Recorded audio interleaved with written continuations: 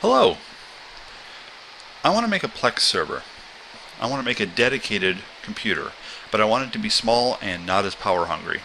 I was digging through my collection of old computers that I have, and I came across this guy. This is an E-Machines EL1300G-01W. This is from 2009. Uh, originally came with Windows Vista. Uh, it has an AMD Athlon 2650E processor, uh, 160 gigabyte hard drive. It says 2 gigabytes of DDR2 memory, but this in fact has 4, so 4 gigabytes of DDR2 memory, as well as a DVD-ROM. Now I wanted to use this computer, and I wiped the hard drive, I reinstalled instead of Windows Vista, I did Windows 7. Unfortunately, it was just too slow. It was unusable. Opening Plex took about 30 seconds, and that's that's too much time.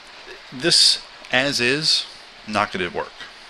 However, what I would like to do is open it up, see what's in it, see what we want to keep, get rid of what we don't, and throw in some faster, newer components that uh, would hopefully give us a better Plex experience than this can as is. So yeah, let's take a look, shall we? So let's take apart this computer and see what we got inside. It has just three screws holding on the side panel, and the side panel is actually also part of the bottom panel.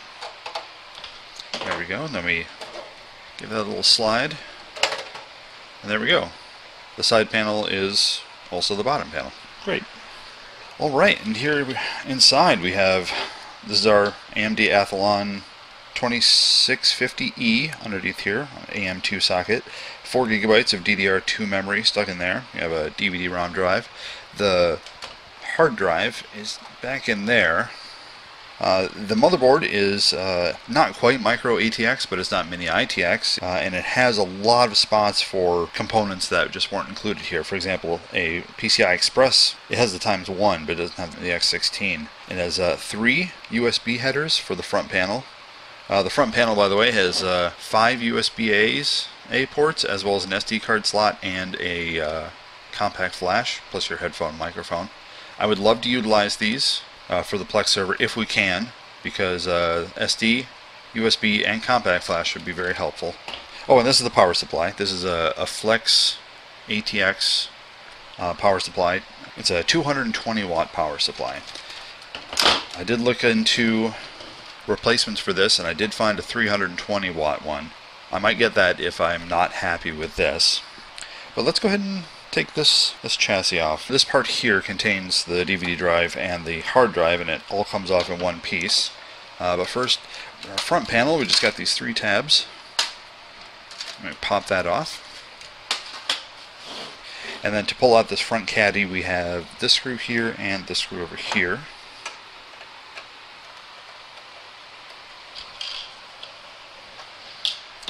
There we go.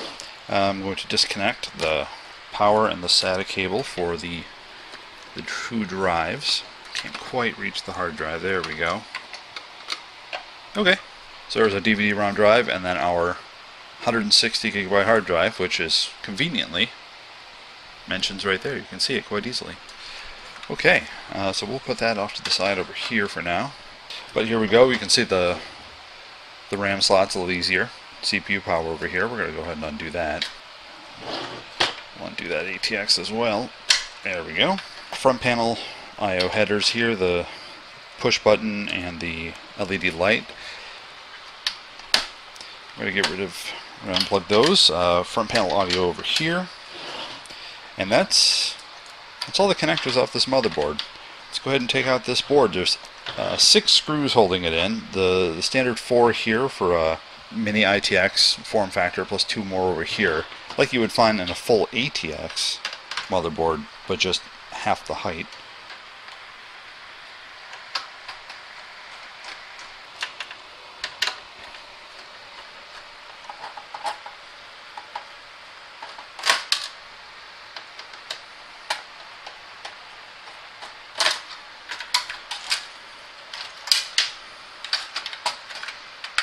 Okay, there it is. It's going to go off to the side.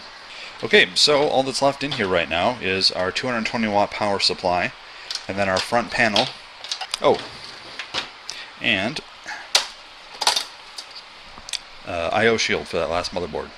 Okay, well now that we have this gutted, we're going to take a look at the components that we're going to put inside of this and build up our Plex server. These are all the components that are going in the case to make up our Plex server. And so we're going to go through everything one by one just to show it off. First, our motherboard. This is an MSI H110i Pro uh, Mini ITX motherboard. This supports Gen 6 Intel processors, and there's a specific reason for that. I have an older Intel Pentium G4400 CPU. Uh, we're going to be using a stock Intel cooler on this Pentium. I don't expect it to get super hot, so this should be more than enough. When it comes to RAM, I have not one but two sticks of G.Skill Ripjaws 5 DDR4.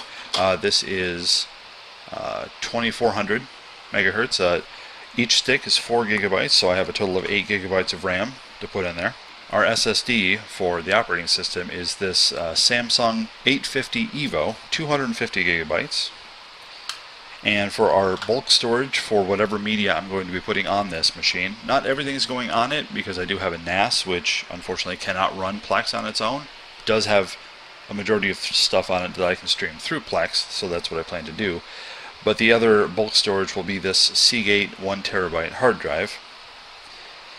However, if I put this in its normal spot, uh, I would have to put a two and a half inch SSD and a five and a quarter bay slot, which I'm not going to do. So I have two adapters here. This is a three and a half inch to five and a quarter adapter, mounting adapter, so my main hard drive can go in that slot, like so. And that frees up the three and a half inch slot underneath, which I will use this adapter with the SSD. Put the SSD in this and then into this, but that seems over and that seems overly complicated, so I'm not going to. But yeah, those are the components that are going in the computer at the moment.